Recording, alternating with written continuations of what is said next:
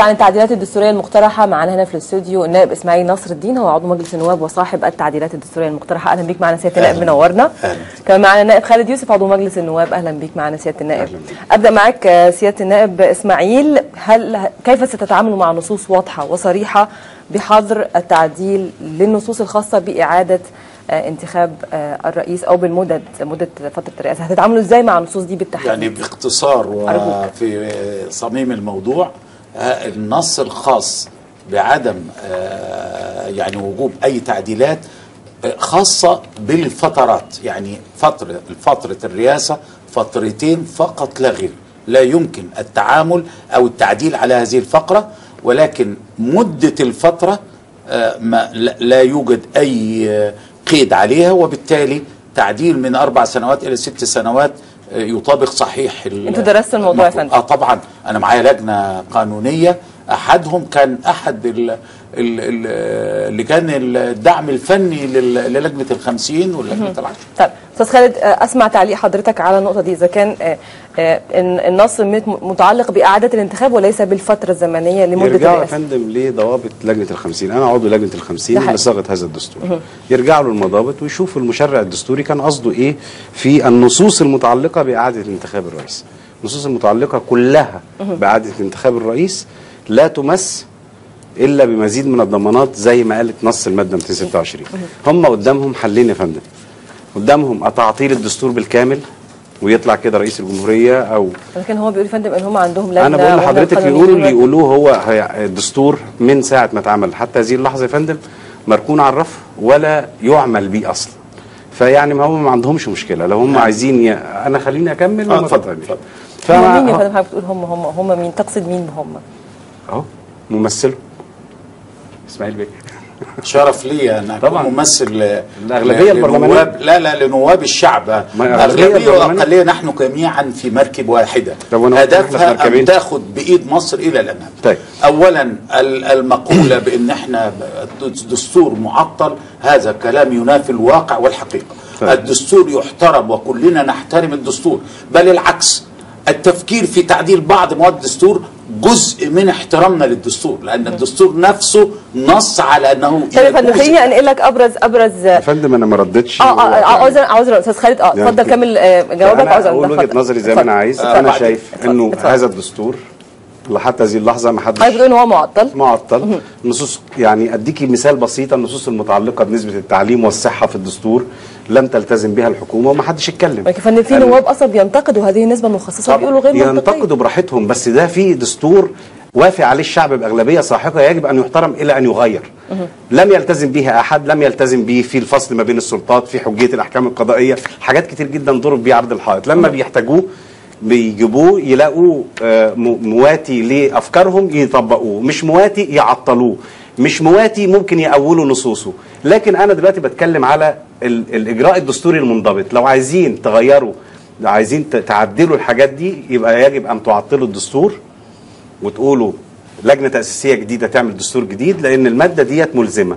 أو عندهم حل آخر يعملوا استفتاءين. هيعملوا استفتاء الأول على إسقاط المادة 26 226 الأول يوافق عليها الشعب وبعدين يبقوا يعدلوا الدستور تعديلات في استفتاء. فيبقى بدل ما يعملوا استفتاءين. انتخابات رئاسية وبيتكلموا على الموارد الاقتصادية وإن دي هتكلف 2 مليار الانتخابات الرئاسيه يعملوا استفتاءين يكلفوا 4 مليار.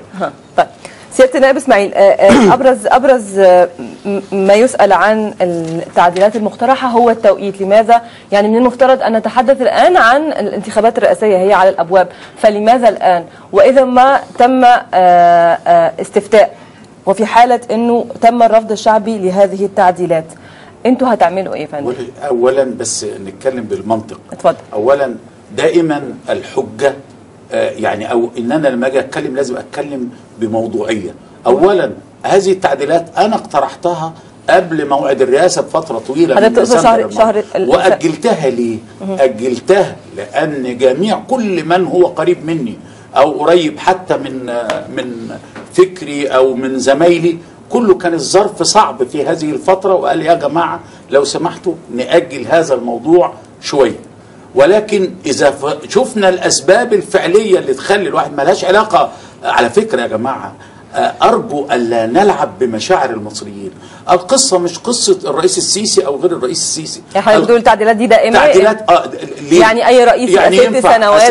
ويرشح مرة أخرى؟ آه، دولة نامية طبقا لعلوم الاقتصاد والسياسة لا يصلحش معاها خطط تنمية أقل من خمس سنوات وعندي نص سنة المفروض نعلم شعب شبابنا وشعبنا إن لازم نحاسب رئيس الدولة اللي جاب لنا الخطة دي بس في ست في, في شهور نفس الوقت هناك رأي إن ده دستور استفتي عليه ملايين المصريين يا فندم فلازم نحترم إحنا أول من يحترم الدستور طيب. ولا ولن نم... حد يقدر يمس الدستور ده الدستور ده فندم حضرتك بتطلب بتعديلات إحنا. بنعدل بعض الحاجات اللي فيها عوار بس. الناس بس خليني أكمل. لك فيها إيه بقى اولا يجب أن نكون صرحاء مع نفسنا الدستور ده اتحط في وقت كان استثنائي وظروف استثنائية. أه هقول لك عوار بسيط جدا. المادة المادة آه، 107 آه، الخاصة بالفصل في آه، صحة العضوية. تخيلي المادة 107 احاطت آه، جعلت من محكمة النقط هي اللي التي تحكم. في نعم. تخيلي بقى في مادة 210 وده بقى من خلي نوع- أرجوك ركز في نقطة آه، عشان هرجع ماده لحضرتك 210 بتقول إيه؟ خرجنا بره الموضوع. بتقول لا مش ده هو صلب هو ده من الموضوع. ضمن التعديلات يا فندم. 210 بتقول لا المحكمة الإدارية العليا تتولى آه، آه، بحث كافه كل الموضوعات الخاصة بالانتخابات وهي اللي بتتابع الانتخابات من أول لاخرها أحط لي البندين متضادين وأبوظ حاجة اسمها المنا... المنا... وحدة المنازعة. طب عشان عشان. نشمل كل النقط. اتفضل يعني أنا متأكد إني آه، ناس كتير جدا ما قروش الدستور. اللي بيقولوا سياده النائب مخالف تماما الحقيقة. مجلس الدولة لا، مختص. أنا بقول مخالف الحقيقة من وجهة نظري إسماعيل. آه من وجهة خليكم نظر من فضلك آه، يكمل. يا فندم. آه. وجهة نظري. اتفضل يا آه، أستاذ خالد. وجهة نظري. ماشي. ماشي. ال- الم- المادة اللي بتتكلم على اختصاص مجلس الدولة أو القضاء الإداري بالعملية الانتخابية لغاية إعلان النتيجة. بعد إعلان النتيجة الفصل في العضوية لمحكمة النقد. ده اختصاص وده اختصاص. يا فندم فما فيش تعارض. بعيدا عن الاختلاف يا فندم. الشعب لما يشوف نواب يا فندم مختلفين في تفسير نصوص قانونية وبناء على الاختلاف في التفسير ده كل واحد بياخد مسار. يعني في حد بيقدم تعديلات وغيره وغيره. إحنا كشعب المفروض يا فندم يعني إحنا نتعامل إزاي؟ لما أنتوا كنواب مختلفين حتى في تفسير ال ال ال ال النصوص اللي جوه الدستور. شايف؟ يعني هو الاختلاف عموما آه، آه، صحي في النهاية. فندم اختلاف في تفسير الاختلاف في الاختلاف في التفسير في حاجة اسمها محكمة دستورية عليا نلجأ لها في تفسير النصوص. بس أنا عايز أقول ردا على كلمة الوضع الاستثنائي اللي كان معمول في الدستور سنة 2014 الوضع الاستثنائي ده كان فعلا البلد أو ال- الدستور ده كنا بنكتبه ودوي الرصاص في ودنا بتاع الإرهاب. ما بنقولش لأ. ما زال دوي ال- ال- الإرهاب موجود. ما حصلش أي تغيير. أنا رأيي فين فين فقه الأولويات؟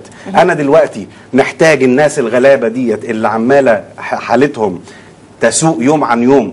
ومصادر رزقهم عمال يضيق عليهم ومش عارفين يلاقي ياكلوا أدور لهم على خطط تنمية تعلي مستواهم تمام. ولا أتكلم على المواد بقى، أكمل بقى خليني طيب، أكمل لو. سمحت ولا إيه. إيه الاولو عايز أي حاجة زي كده هرد عليه ساعتها. يا ست يا ما خلتنيش أكمل لا اتفضل أي حاجة لازم نسأل فيها حاجة اسمها ما الداعي قبل ما نقول ما. المانع طيب. الداعي؟ لده إيه أنا؟ فقه الأولويات أرد. خلاص هنرجع لفقه. الأولويات. فاصل غصب. عني فاصل وهرجع لك غصب عني هرجع لك وعد يا. فندم مشاهدينا فاصل. داعي قوي يعني. حاضر حاضر مشاهدينا فاصل ونرجع لكم مرة ثانية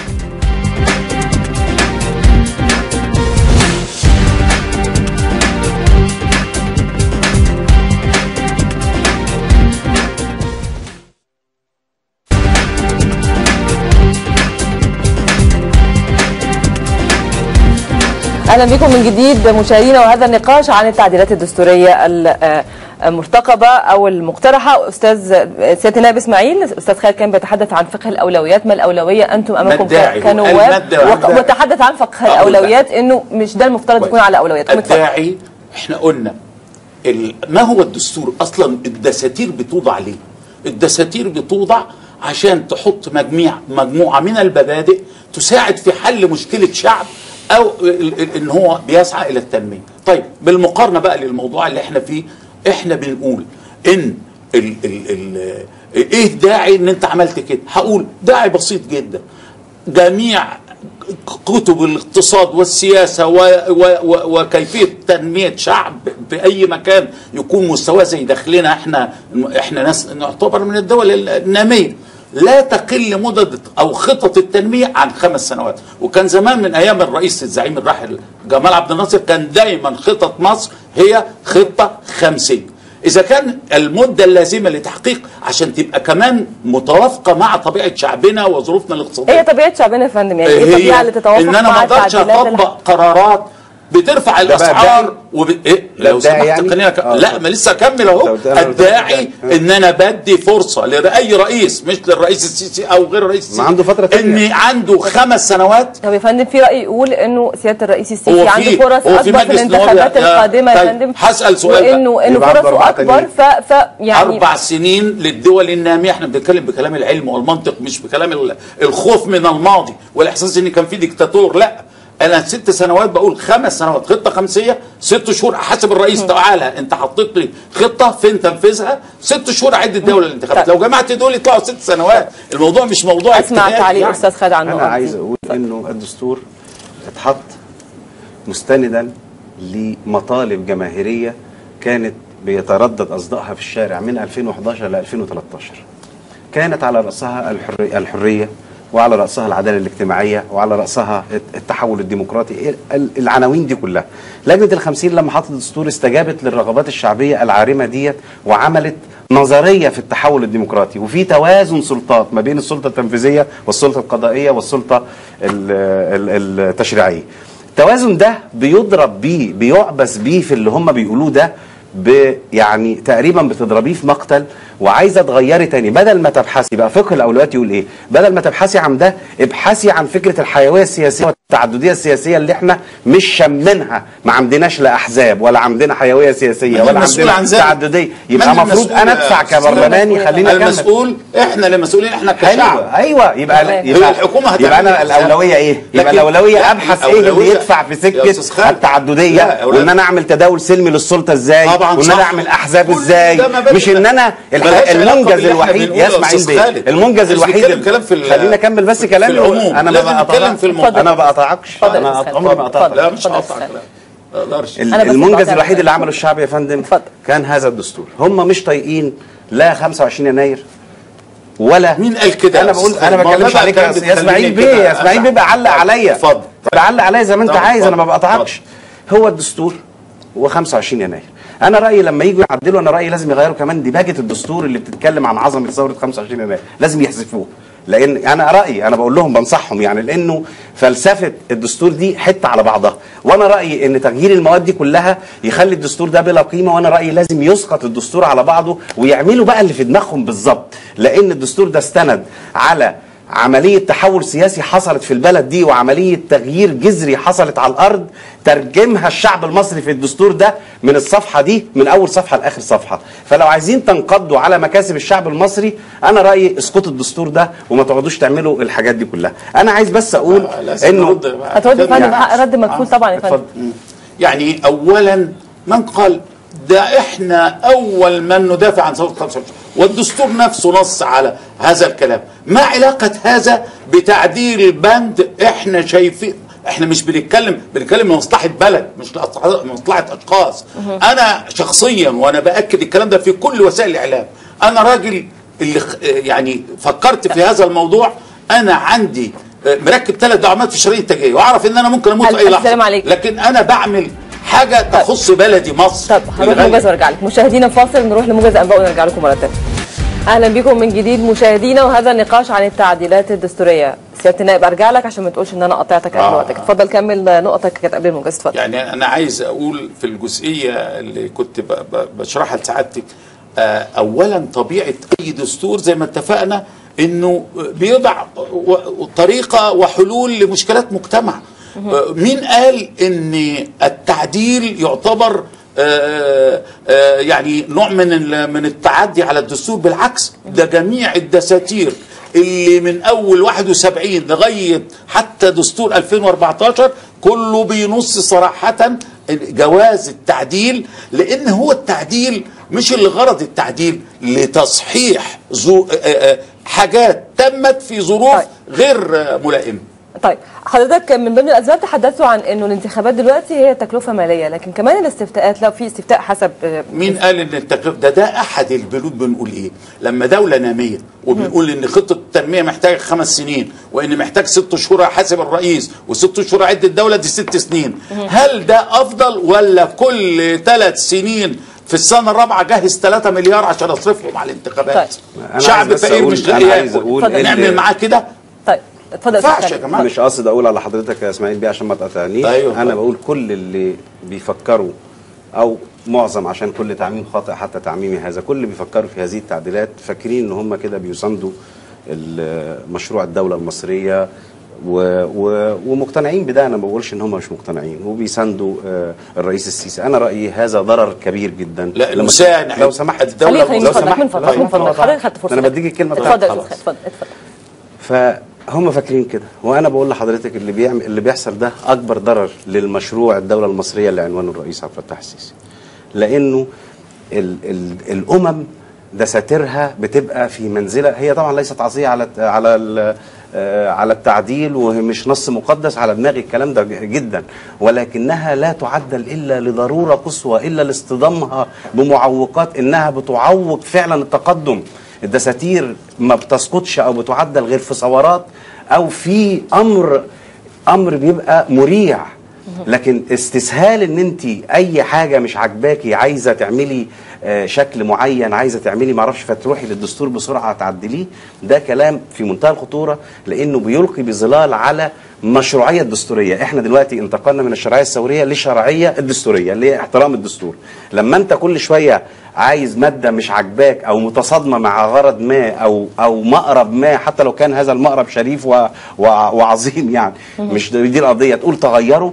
دي دول لا تنبئ عن استقرار ولا ولا ولا يمكن أن تشي بأنه البلد دي مستقرة و- وفي الاستثمار لازم بناء على اللي يجي. قلته حضرتك هل تعتقد إنه مصر هتشهد انتخابات 2018 باللي هم بيعملوه لو مشوا فيه مفيش هتبقى مش هتبقى فيه انتخابات. بس يعني أنا عايز أقول التعديل كمان يا إسماعيل بيه. يجي بعد التطبيق. هل إحنا طبقنا الدستور ده؟ إحنا طيب. ضربنا بالدستور بعرض الحائط في حاجات كتير جدا ولم نطبقه حتى هذه طب اللحظة. لم نطبق الدستور في حاجة. هل إيه يعني أنا- طبقناه وتعثرنا؟ طيب. ما طب ما تطبقش اديني المجال. أصلا عشان. أعطله. اولا اولا لم تتم هذه التعديل أو, أو التعديلات المقترحة. ليست لها علاقة بالانتخابات. بمعنى إيه يا فندم؟ بمعنى أقول لك إن هذه التعديلات لو تمت مش هتطبق على على الفترة الأولى من الرئاسة لأن الفترة الأولى تمت في طبقا. للدستور محدد محددة بأربع سنين. يعني. لكن تطبق في الفترة ال- في التانية. الفترة الثانية. مين اللي جاي الفترة الثانية؟ حد يعرف؟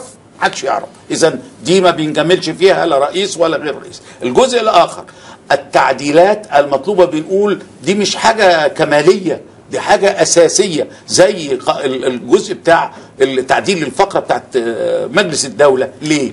أنا مطلوب مني أنا عدد القوانين في مصر يصل إلى 34 ألف قانون. تخيل أن 60% من هذه القوانين مر عليها أكثر من 40 سنة.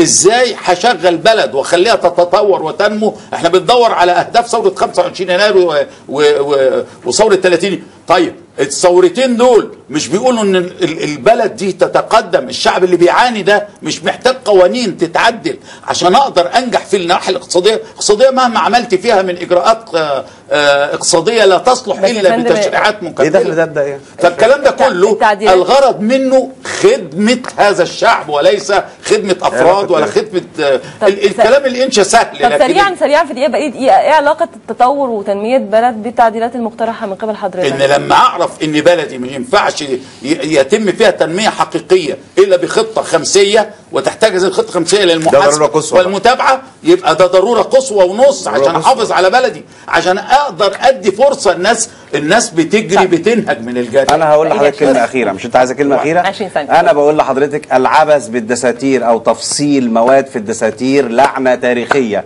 يقروا التاريخ ويرجعوا من دستور 23 اللي أسقطوه في سنة 30 واللي تسبب في سقوط حكومات لغاية سنة 35 أكمل كلمتي أيوة، اتفضل يا حبيبي. اقروا التعديلات اللي عملها السادات عشان يخلي مدد ومش عارف إيه ولم يستفيد بيها واستفاد بيها حسني مبارك بعديه وقعد 30 سنة. اقروا في التاريخ عن ح- عن عن محمد مرسي لما عمل الإعلان الدستوري اللي عصف برضه بيه بنصوص بالنصوص الدستورية المستقرة. حصل إيه بعديها؟ أنتوا الشاذة اللي بتتكلموا؟ لو سمحتوا. أنا بكلمك. أنا بقول لك أهوت وبقولها على الهوا. لعنة تاريخية التعديلات. الدستورية أو العبث بالدستور لعنة تاريخية. افتكروها وافتكروا الجملة. دي. أنا خلص. الدساتير أنا- مسألة مهمة أنا بل جد خلص يا على أنا الشرعية آسفة. وقتي خلص النائب. إسماعيل ناصر الدين عضو مجلس النواب وصاحب التعديلات الدستورية شكرا ليك النائب خالد يوسف عضو مجلس النواب وعضو لجنة الخمسين لكتاب الدستور 2014 شكرا ليك